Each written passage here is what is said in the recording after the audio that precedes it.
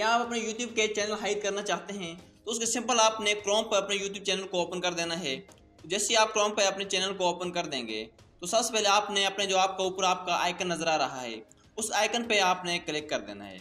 अब देखिए, जैसे यहाँ पर ओपन होगा, उसके बाद आपने यहाँ पे अपने आइकन पर क्लिक कर देना है चैनल कर अब जैसे चैनल के आइकन पर आप क्लिक करेंगे तो यहाँ नीचे आपको सेटिंग का ऑप्शन नज़र आएगा।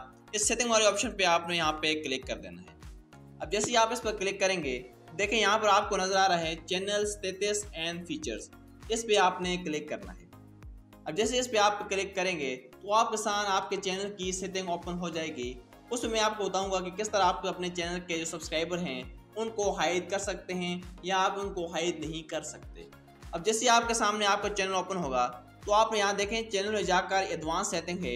इस एडवांस सेटिंग को आपने ओपन कर देना अब जैसे आप एडवांस सेटिंग को ओपन करेंगे तो सबसे आपने यहाँ से स्क्रॉल डाउन करना है।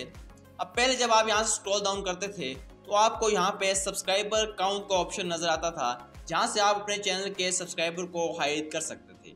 मगर आप यूट्यूब ने अपनी पॉलिसी चेंज कर दी है, और अब उन्होंने कह दिया है कि आप अपने चैनल के सब्सक्राइबर को हाइड नहीं कर सकते। तो इस वजह से आप यहाँ पे देखें, जैसे आप सब्सक्राइबर के नीचे स्क्रॉल डाउन करते हैं तो आपको यहाँ पर सब्सक्राइबर काउंट की जगह यहाँ पर क्लिप्स नज़र आ रहा है एडवर्टाइजमेंट का ऑप्शन नज़र आ रहा है, मगर आपको यहाँ पर सब्सक्राइबर काउंट का ऑप्शन नज़र नहीं आ रहा। तो इस वजह से कि अब आप अपने चैनल के सब्सक्राइबर को हाइड नहीं कर सकते, ये यूट्यूब की तौर से पॉलिसी है, और इसकी वजह से आप अपने चैनल के सब्सक्राइबर को हाइड नहीं कर सकते।